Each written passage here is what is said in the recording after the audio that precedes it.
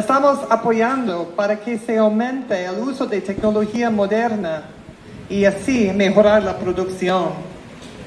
Cuando Rusia lanzó su guerra brutal y no provocada contra Ucrania, los precios de los fertilizantes aumentaron rápidamente, provocando otra crisis global.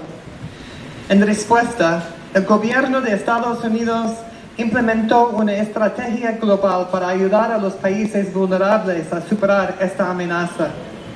Junto al pueblo y gobierno de Honduras, ya estamos trabajando para potenciar el uso de insumos agrícolas. Con estos proyectos podremos generar beneficios económicos para los productores y alimentos más saludables con un menor impacto ambiental. Estos dos proyectos forman parte de una respuesta integrada del gobierno de los Estados Unidos que incluyen una amplia gama de otros proyectos. Por ejemplo, junto a estos dos proyectos estamos invirtiendo 12.5 millones de dólares, aproximadamente 310 millones de lempiras, que duplicarán la capacidad de análisis de laboratorios de suelo.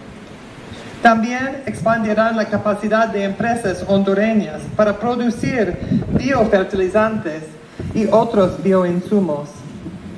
Es grato anunciar que tras un año, pequeñas empresas de biofertilizantes en Honduras han producido 35 mil toneladas métricas de fertilizante.